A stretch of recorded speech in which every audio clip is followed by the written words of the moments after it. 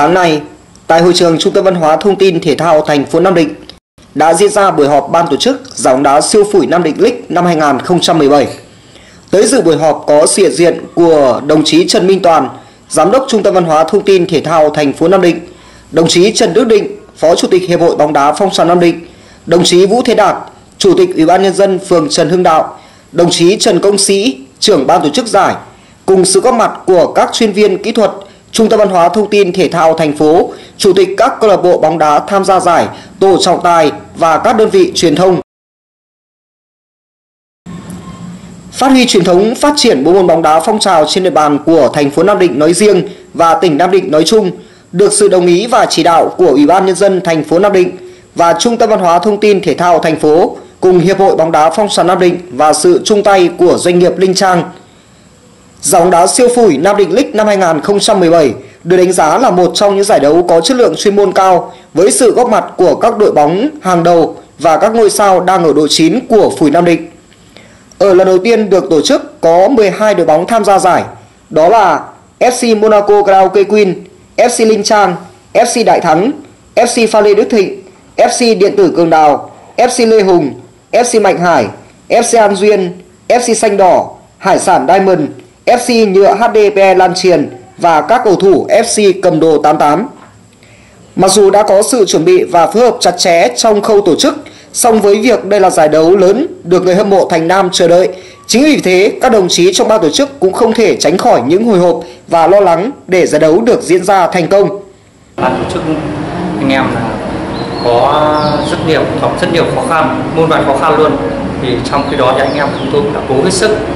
để giữ được uh, cái nền bóng đá phủ của Nam Định. Nên là anh em tôi gặp rất nhiều khó khăn mà đến thời điểm này cũng đã vượt qua được tất cả. Ban tổ chức muốn uh, giữ cái nền bóng đá phủ của Nam Định nên là cố gắng sẽ tạo lên được một cái giải sân chơi để làm sao để cho các anh em phủ Nam Định là có một cái sân chơi tốt cố gắng hết sức và để hoàn thành cái mục đích của giải là này. À, được sự đồng ý của ủy ban nhân dân thành phố và trung tâm văn hóa thể thao uh, Nam Định thì là các đội và các đội thì vẫn đang uh, hoài nghi về cái uh, tổ chức của ban tổ chức ừ, vì cái giải là năm đầu tiên. Tuy nhiên là chúng tôi ban tổ chức chúng tôi sẽ quyết tâm tổ chức cái giải thành công.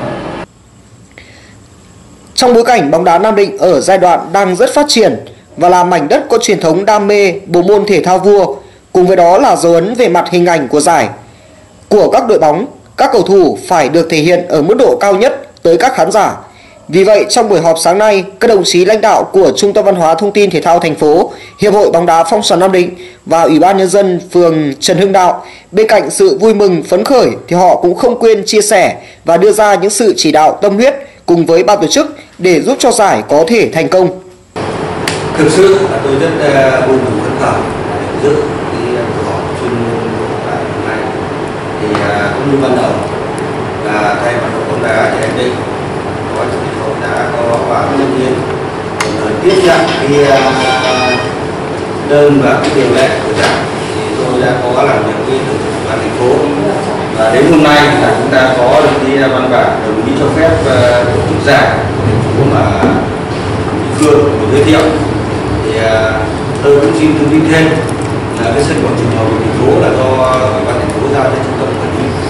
toàn bộ các hoạt động trên sân là trung tâm chịu trách nhiệm và có cái định hướng hoạt động. Thì trong đó nhiều năm nay thì à, với cái hoạt động chính là phát triển cái phong trào bóng đá ờ, cao. Cái thứ hai là phục vụ cái nhiệm vụ kinh tế xã hội hỗ trợ hay các thứ để các à, anh em được biết. Thì à, trong những năm qua thì cũng đã từ lâu về hoạt động bóng đá thì có hội bóng đá phong trào đã hành với cũng rất tốt của thì cũng xuất phát từ cái ờ, những cái ờ, những yêu đó thì về phía quan chuyên môn chúng tôi thì là có một cái xác định rất rõ ràng là luôn luôn tạo điều kiện thuận lợi nhất để cho các hoạt động trên sân phát triển đặc biệt là bóng đá. Mà như giải bóng đá năm nay thì ờ, chỗ ờ, cũng rất cảm ơn là ban lãnh đạo đi trang và tổ chức và đặc biệt là cái sự đồng hành của các câu lạc bộ tham gia giải để góp phần vào cái hoạt động chung của chúng ta à, thực sự cảm ơn à, đối với à, các nhân trên. Thế còn riêng về phía cơ quan trung tâm chúng tôi thì thứ nhất, chúng tôi xác định là tạo mọi điều kiện và sẵn sàng đồng hành cùng với ban tổ chức và tổ chức giải để làm sao đưa giải đến những tốt đẹp và trong quá trình thực hiện thì cũng đã có những cái ban tổ chức ở những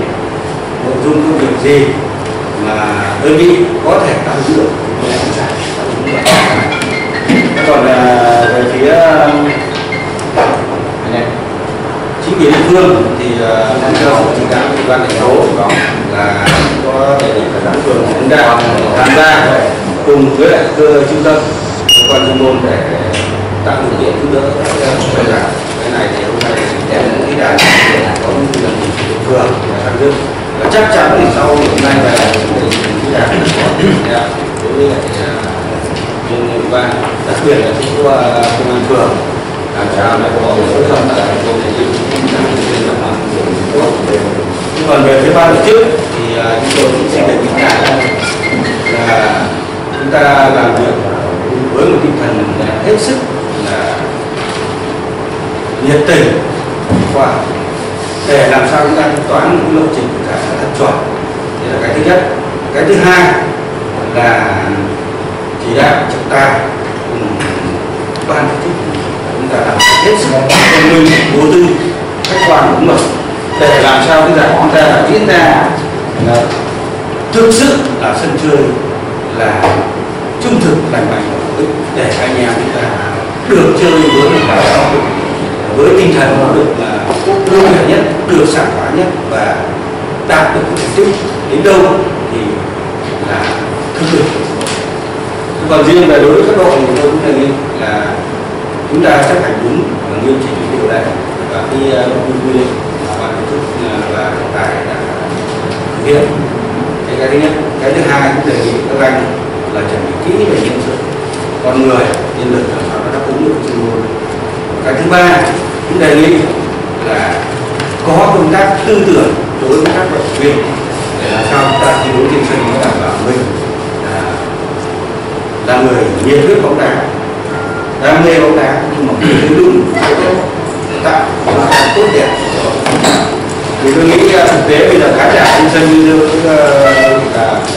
cái trình độ nhận thức và trình độ rất cao. Nên là nhìn trận đấu thì người ta có thể nên là chúng ta làm sao tôi cố gắng chúng ta chưa hết khả năng của mình để tạo được cái sự trường chung làm sao để có thể cố gắng mong rằng là trong quá trình à, thi đấu thì các à, lãnh đội à, có thêm cái động thái. Công tác tư tưởng cũng các vận động viên để làm sao thi đấu nó đảm bảo chúng ta đã tổ chức cái này với cái nhiệt tình chân thực, là rất trong sáng, rất đẹp rồi. Mà chúng ta thi đấu và tổ chức thi đấu nó đẹp nữa thì càng có cái ấn tượng sâu sắc hơn với khán giả đấy là số những ý kiến mà tôi cũng xin là chia sẻ đối với lại ờ, ban tổ chức các đội tham gia giải hôm nay tôi đến đây với tư cách là hội phó của bóng đá phong trào tôi rất là vui mừng khi được biết được cái cái tổ chức giải lần đầu tiên, thì nói là lần đầu tiên chúng ta sống không dựa vào nhà tài trợ. Thì từ trước đến nay thực tế là anh em tôi còn dựa vào tài như gần như là không, không tự chủ cũng như là tinh ý và cũng rất là vui mừng những cái sự kế rồi đấy là bóng đá này nó mang tính là, truyền thống. Lần đầu tiên nó là mang cái tên bóng đá của nó. Thì hy vọng là nó sẽ được liên tục liên tục. Trong cái bóng đá phong trào thì nó những cái vấn đề đèn để, được sức khỏe cũng như là trí tuệ. Tôi cũng hy vọng rằng trong cái trận bóng đá chúng ta thể hiện cái hình đẹp trong thể thao. Và mong muốn rằng trong những cái thời gian về sau chúng ta có một cái đội tuyển để đi thi đấu với các cái giải miền Bắc cũng như là cái giải của toàn quốc. Tôi rất là mong anh em cố gắng làm sao thi đấu cho nhiệt tình mà cống hiến cho khán giả những cái trận đấu hay. Và phong cách thi đấu làm sao thể hiện được là bóng đá có thể có những cái va chạm nhưng đó là va chạm trong bóng đá, chứ không phải là va chạm ở xã hội. Đó cả thì tôi chỉ mong muốn rằng tất cả mọi người ở đây chúng ta khi mà ngồi đây thì cũng rất là bình tĩnh, mọi thứ đều có thể có thể xảy ra. Nhưng trong bóng đá có thể xảy ra, nhưng mong muốn làm sao nó chỉ xảy ra trong phạm vi giải bóng đá. Đối với về cái việc của chúng ta, tôi muốn là trọng tài là những người mà phải chịu áp lực rất là lớn. Thực tế là trọng tài cũng là con người thôi, cũng không thể là cái người mà trên hành tinh khác đến đây rồi. Cho nên có thể đúng và cũng có thể sai cũng mong muốn là các đội là sau khi thi đấu, nếu trọng tài có sai sót gì thì chúng ta sẽ phản ánh với ban tổ chức. Có thể chúng ta nói là bây giờ trọng tài mình có thể trong cái giải này mình nâng cao cái vấn đề gọi là kinh phí cho trọng tài đây để trọng tài có trách nhiệm nhưng đồng thời cũng có những cái là ban tổ chức quyết định phạt trọng tài trong phạm vi thổi không đúng. Đấy là quan điểm của tôi thì tôi mong muốn là tất cả anh em trong trong trong hiệp hội. Tất cả bây giờ cũng chỉ là trong hiệp hội bóng đá. Anh không thể đá ngoài cái hiệp hội bóng đá được, đúng không? Anh muốn tổ chức một cái giải gì thì cũng trong khuôn khổ của hiệp hội bóng đá mà thôi. Nên đây là tôi chỉ mong muốn là tất cả mọi người hãy cùng nhau trong bóng đá, hãy gắn kết với nhau, hãy tôn trọng nhau trong bóng đá. Mình tôn trọng nhau trong bóng đá tức là tôn trọng khán giả của mình,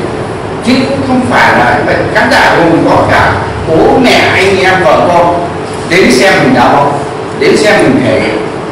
thì tôi cũng chỉ mong muốn tất cả mọi người làm sao thi đấu với một cái tinh thần tốt đẹp nhất để cho bóng đá càng ngày càng tốt,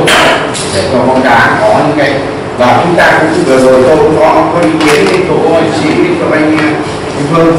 là chúng ta cũng phải có chế tài. Nếu đội nào mà làm hỏng giải đó phải chịu trách nhiệm bằng tiền chứ không phải chịu trách nhiệm bằng bằng bằng lời nói à, bằng những cái văn bản quan điểm của tôi tôi có ý kiến để xin hết. Có thể nói là từ lâu lắm rồi và khi một tổ chức một cái giải to này thì thực tế bản thân tôi được tham dự cùng với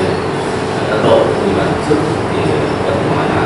đối với cái qua cái triển khai của năm học thôi qua triển khai thì chỉ đạo là đối với cái, cái giải này tổ chức quy mô cũng như là cũng là tổ chức rất chặt thiện về cái câu kỹ thuật để trọng tài vân vân cái theo một chiếc tuy nhiên thì ờ, cũng như các hoạt động khác ở trên ờ, địa bàn thì cũng được đề nghị đối với chức cũng như là anh em các đội cũng là quy định. Đối với an toàn và đối với trên sân thì ờ, quản lý của tổng tâm thể thao thì cũng như quy định và đối với chính quyền địa phương thì đặc biệt chúng ta phải làm tự làm tự để chúng ta tổ chức. Ở đây thì tôi đi đọc qua thì có cái cái thời gian khai mạc chưa có thời gian kết thúc và cái lịch thi đấu như nào thì đề nghị ban tổ chức à, chuyển sang làm cái này về cái phía chính quyền địa phương thì tôi sẽ giao cho ban phường còn một mặt thì các anh cũng là ban tổ chức chủ động ban rồi để bố trí về sau này là cái an ninh tự cái thứ hai là cho gian giảm như thế này ờ, để cho đối chính quyền địa phương được được để có những hoạt động khác trên địa bàn xây dựng cho nó đảm bảo và đối với tôi thì đối với các môn thể thao, cũng người cũng rất mộ của bạn thôi, các các anh các anh thôi. Tôi nghĩ là, tôi nghĩ là lần này là lần tổ chức đầu tiên thì sẽ có lần thứ hai. Và cũng thay mặt chính quyền địa phương, xin chúc bạn trước cùng tất cả các vận động viên của đội cao nhất và một cái khởi điểm để cái lần thứ hai thứ ba và những lần sau tiếp tục tôi cùng nghe cùng chỉ lần thì ờ, lãnh đạo các địa phương xin tổ chức về là chúc tất các đội Theo điều lệ của ban tổ chức, 12 đội bóng sẽ đá vòng tròn một lượt tính điểm để chọn ra nhà vô địch. Hai đội xếp cuối bảng xếp hạng sẽ phải đá playoff ở mùa giải năm sau. Theo dự kiến của ban tổ chức giải, giải đấu năm nay sẽ được khai mạc vào 14 giờ 30 phút thứ bảy, ngày 10 tháng 6 năm 2017. Đội vô địch Nam Định League năm 2017 sẽ nhận tổng giải thưởng trị giá gần 30 triệu đồng.